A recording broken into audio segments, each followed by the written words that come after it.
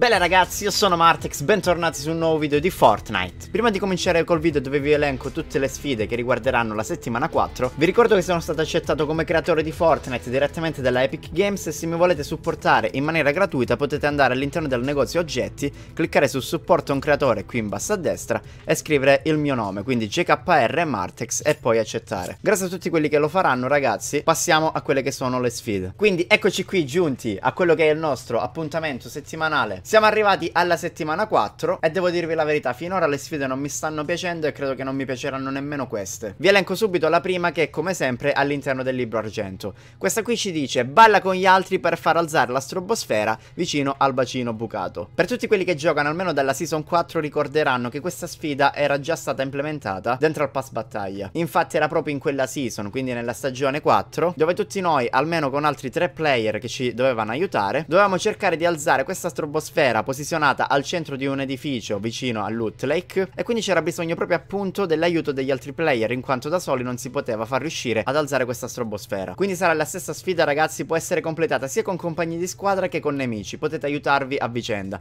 Questa ci darà 5 stelline del pass battaglia. La seconda sfida di questa settimana invece ci dirà apri una cassa di munizioni in 7 luoghi indicati differenti. Molto spesso sotto ai commenti mi chiedete Martex che cosa sono questi luoghi indicati? I luoghi indicati non sono altro che tutti tutte quelle zone sulla mappa che hanno un proprio nome, quindi palmeto paradisiaco, bosco blaterante, rifugio ritirato, pinnacoli pendenti, spiagge snob, parco pacifico, borgo bislacco. Tutte queste zone che sulla mappa vengono segnate con un nome sono i luoghi indicati. Quindi per completare questa missione dovremo trovare ad esempio una cassa a pinnacolo, una cassa a parco, una cassa a spiagge snob e così via per arrivare a 7 casse totali. Volendo può essere completata anche in una sola partita, però vi dovete muovere per 7 posti diversi, uno dopo l'altro altro, quindi essere veloci. Io vi consiglio la modalità 50 contro 50, dove potete utilizzare le rampe, quindi lanciarvi da esse e muovervi velocemente con il proprio glider. Anche questa sfida ci darà 5 stelline del pass battaglia e passiamo alla terza. Questa ci dice infliggi danni agli avversari in una singola partita,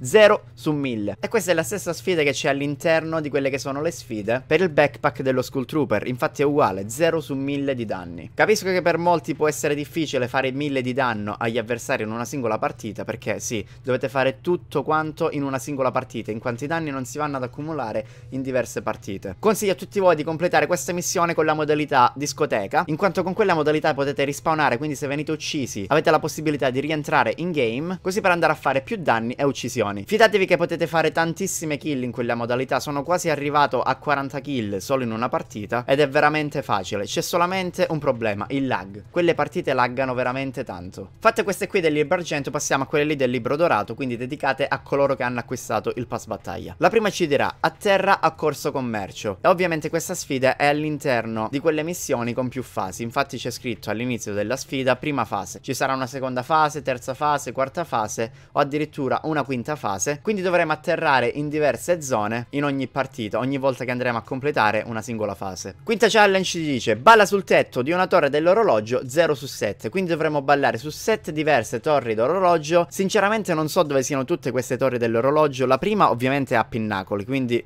vedremo tanta gente che atterrerà solamente lì sopra, tutti quanti a ballare assieme e sarà uno spettacolo. Però diciamo che di torri d'orologio ora non me ne vengono in mente altre. Scrivetelo magari qua sotto nei commenti se avete idea di dove possano essere altre torri dell'orologio. Ovviamente per questa sfida porterò una guida a parte dove vi mostrerò tutte le zone di dove poter atterrare e ballare, così per andare a completare in minor tempo possibile anche questa sfida. Quindi ricordatevi che sempre questi video dove ci sono determinate sfide che vanno completate in una maniera diversa vengono portati sempre sul canale come video singolo. Passiamo alla sesta che ci dice... Mm. Ma seriamente? Seriously Epic Games? Completa le prove a tempo. 0 su 5. Completa le prove a tempo. Cioè, contando questa qui, se verrà implementata, io spero di no, ragazzi, perché se no...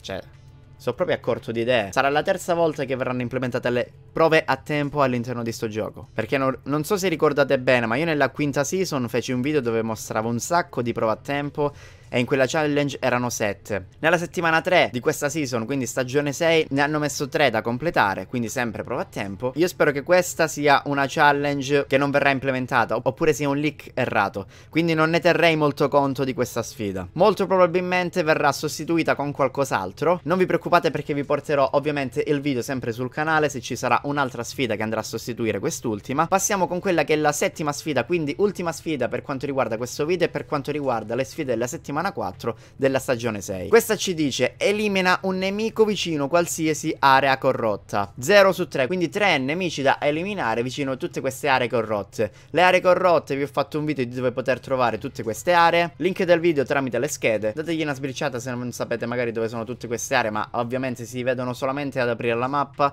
perché sono tutte quelle aree in cui il cubo è passato e sono tutte quelle zone dove appunto tutta l'area circostante è danneggiata e potete trovare le pietre ombra. Quindi sfide della settimana 4, stagione 6, tutte quante liccate. Mi raccomando lasciate un bel like al video, commentate qua sotto se avete qualsiasi dubbio, cercherò di rispondervi il prima possibile. Noi ci becchiamo con le guide che riguardano in maniera singolare queste sfide della settimana 4. Un salutone da Martex. Sia brothers!